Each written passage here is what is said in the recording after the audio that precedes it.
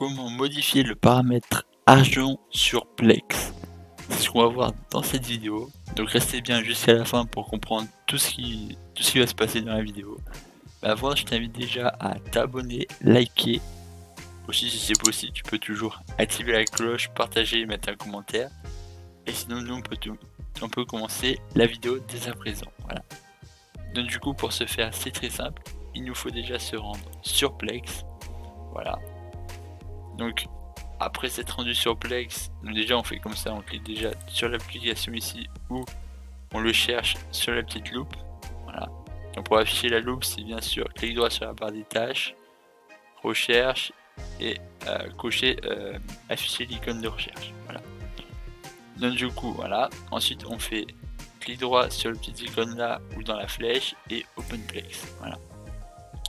Donc je vous rappelle, hein, tous les vendredis, des vidéos Plex. Hein. Donc du coup, on va sur le serveur.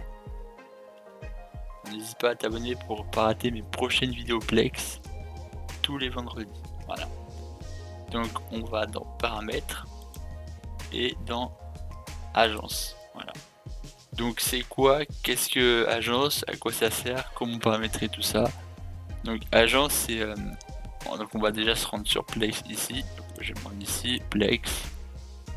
Et là par exemple quand on va sur ici on peut voir des images. Voilà. Donc on va plus se rendre par exemple sur euh, des séries par exemple. Voilà. Là on voit des bannières. Par exemple les Chicago, tout ça. On voit les bannières des, des films, des séries. Donc en gros c'est euh, les ressources sur euh, quelles ressources euh, Place va piocher. Donc je vous conseille moi pour ma part de tout cocher. Donc vous allez par exemple sur film, personnel média vous cochez tout. Place movie pareil. Voilà vous cochez absolument tout. Voilà. Après vous testez s'il y en a un vous trouvez qu'il est plus utile par exemple vous pouvez le mettre plus en avant celui-là si vous trouvez qu'il est plus utile donc voilà, donc vous pouvez toujours voir euh, sur ces endroits là. Bon moi je vous conseille de laisser par défaut mais juste de cocher tout. Donc moi je vous conseille de tout cocher. déjà je vais redescendre celui-là. Moi je vous conseille de tout cocher. Moi c'est ce que j'ai fait. Voilà vous cochez absolument tout. Comme ça si vous faites des recherches euh, plus poussées, ça permet de faire en sorte que vous ayez le plus d'informations pour les films, les séries, tout ça pour compléter au mieux votre euh, galerie, pour compléter au mieux les images. Voilà. Donc cette vidéo a été assez courte, hein. c'était juste pour vous parler de ce petit euh, plus. Voilà, c'est pour si vous avez par exemple pas assez de... par exemple là on peut aller sur série, voilà. Et imaginons, des fois il peut y avoir qu'il y a des séries qui n'ont pas d'image. Donc du coup c'est une ressource supplémentaire.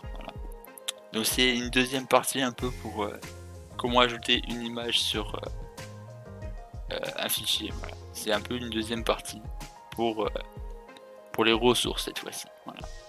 J'espère que cette vidéo a été utile, bénéfique. Moi je peux vous dire du coup à prochaine, bye bye et portez-vous bien.